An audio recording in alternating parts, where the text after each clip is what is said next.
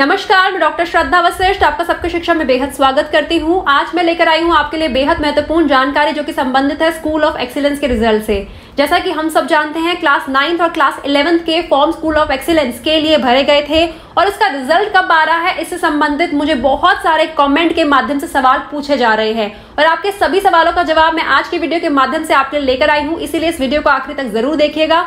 यदि आपको ये वीडियो अच्छी लगे तो इस वीडियो को लाइक ज़रूर करिएगा और शिक्षा संबंधित सही जानकारी और दाखिला संबंधित लेटेस्ट इन्फॉर्मेशन पाने के लिए सबकी शिक्षा को सब्सक्राइब ज़रूर करिएगा। तो मैं आप सभी को बताना चाहूँगी कि, कि क्लास नाइन्थ और क्लास इलेवेंथ का स्कूल ऑफ़ एक्सीलेंस का रिज़ल्ट आज निकल गया है। जी हाँ क्लास नाइन्थ का और क्लास इलेवेंथ का स्कूल ऑफ़ एक्सीलेंस का रिज़ल्ट आज निकल गया है। मैं आपके सामने यह स्कूल ऑफ़ एक्सीलेंस की जो गाइडलाइंस जारी की गई थी क्लास नाइन्थ के लिए उसमें दिखाती हूँ। सात सात शब्दों में लिखा है छब्बीस नौ 2020 at 3 P M twenty six September twenty twenty eight three P M आज स्कूल की लिस्ट निकलनी थी, वेटिंग वेटिंग लिस्ट में कौन से कैंडिडेट्स हैं उनकी लिस्ट निकलनी थी। ये मैंने अभी आपको दिखाया है क्लास नाइन्थ का और क्लास इलेवंथ के लिए भी सेम ही डेट लिखी है, देखिए। Twenty six nine twenty twenty Saturday दोपहर को तीन बजे रिज़ल्ट निकल, आज निकल गया है।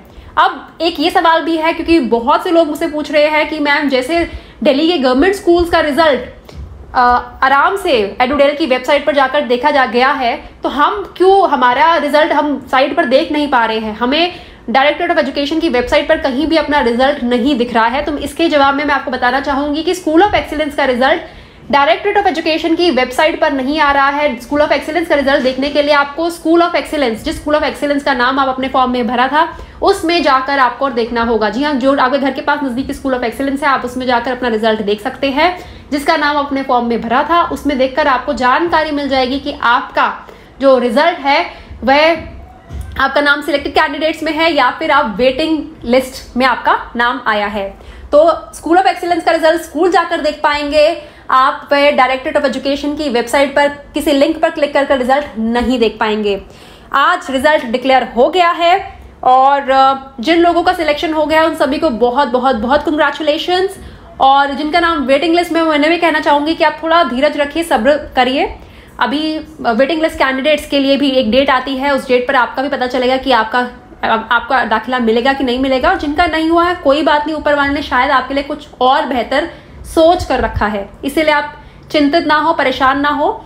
हमेशा कुछ बेहतर होना होता है, तभी ऐसा होता है कि एक दरवाज़ा बंद होता है, तभी दूसरा दरवाज़ा खुलता है। कुछ बेहतर होना है, शायद तभी आज रिज़ल्ट में आपका नाम नहीं आया। तो चिंता करने की ज़रूरत नहीं है। लेकिन जिनका नाम आया, उन सभी को बहुत ज़्यादा बधाई मेरी तरफ़ से और सबकी शिक्षा की तरफ़ से।